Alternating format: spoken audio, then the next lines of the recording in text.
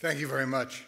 Um, I confess when I first walked uh, into this building and into this room, I thought I had made a big mistake.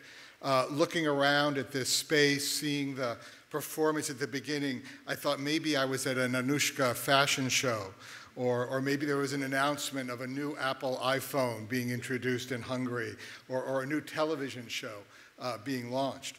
But when I thought about it, I realized that this is the correct setting uh, to talk about the value uh, of employees with disabilities, uh, because that is very much a 21st century business issue. I speak to you as a longtime reporter and editor for the Wall Street Journal and Bloomberg News, a business reporter who's covered business for more than 30 years. I've overseen and driven coverage in, in thousands of stories in Europe, the United States, and in Asia. And our reporters have written about some of the biggest companies, whether it's Microsoft, Toyota, the airline companies, uh, manufacturers, uh, big multi billion dollar companies, but also small businesses and entrepreneurs. I've written myself about people with disabilities, um, whether it's a young computer science student at Harvard University or a young woman with cerebral palsy in Beijing. And what they all tell me, and I'm sure what you've heard often, is that all they really want is an opportunity to show what they can do, to work as an equal. They want the same opportunities as everybody else. And so that got me thinking what are the barriers that are in our heads? We understand the barriers that are in the heads of people with disabilities, the, the barriers they face. But what is it that stops us from working with people with disabilities, hiring them, working for them as our bosses? And the biggest barriers, I would suggest, are in our heads.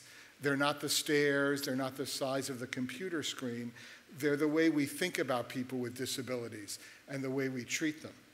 And the media obviously plays a tremendously important role in shaping those views.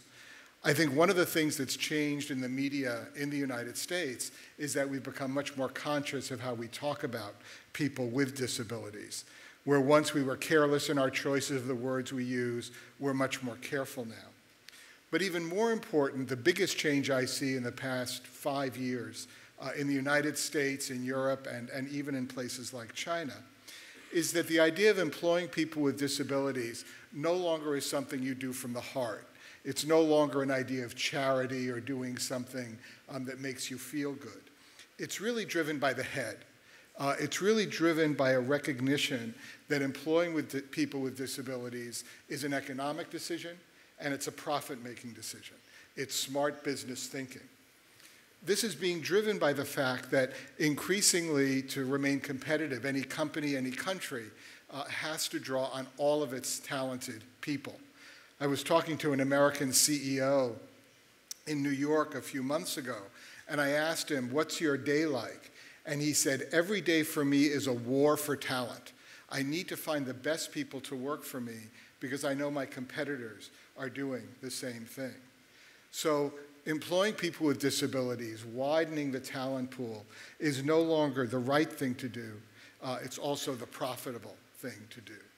Um, this has become most visible in the United States, for example, with people with autism, people on the autism spectrum, where many tech companies have discovered that people with autism are extremely gifted at doing coding, um, at working at customer service, um, and uh, developing products for them um, and writing software. And they are willing to make accommodations for them, to allow them to work at home, to have work accommodations uh, in offices, because their value is dramatically uh, greater uh, if they're able to harness them. Even in China, there is now concern of trying to mainstream and employ workers with disabilities because China too is facing a labor shortage as the society ages, they need to have every worker possible coming to the factory and working. I think companies are also realizing, and many of you may be realizing it as well, that there is a market out there for many of the products that we use to accommodate people with disabilities. Having a standing desk at work, for example, which my uh, secretary has where I work now, is not only good for someone like her who has a visual disability, but it's good for someone like me that I don't have to bend over and, and hurt my back. Uh, cutouts for wheelchairs, ramps, are used not only by people with disabilities, they're used by people uh, who might have come home from the hospital or might be pushing their parents or grandparents along. The other factor that I think is very important is something that's happening internationally, which is the growth of corporate responsibility. Again, this is not charity. This is a key business value that I think especially young people, young consumers, young customers, the customers of the future are very concerned about. They will go on the web, they will look and see are companies doing the right thing for climate change? Are they doing the right thing for how they treat their workers? Are they doing the right thing for how they treat people with disabilities? And you don't want to be a company that gets attacked on Yelp or that gets trolled on the internet for not doing a good job for your workers. At the same time these changes are happening in businesses, there's a tremendous change in the media, which I'm sure all of you are very aware of. For people like me, traditional journalists, this is very difficult and disruptive.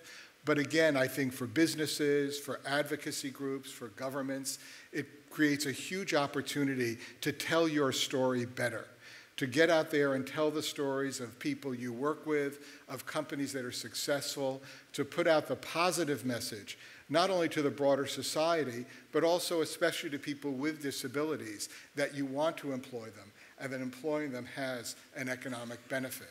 I would urge you to tell those stories on social media because believe me, when they appear on social media, the mainstream media picks them up. We report a lot of bad news, that's true, but we also report a lot of good news. Not fake news, but good news.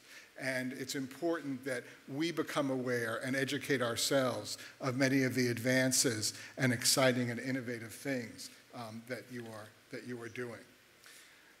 Looking ahead over the next 15 years, I do believe that from a business point of view, from what I hear talking to CEOs in America, in Europe, and China, that employing people with disabilities is going to be one of the most important trends and is going to accelerate in Europe and globally.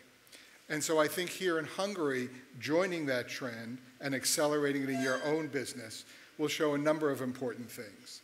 It'll show that you are global, that you are joining the, the, the, drive for business to be innovative, to be entrepreneurial, to adopt change and the best practices of companies like Amazon or Google or H&M or Nike or Starbucks.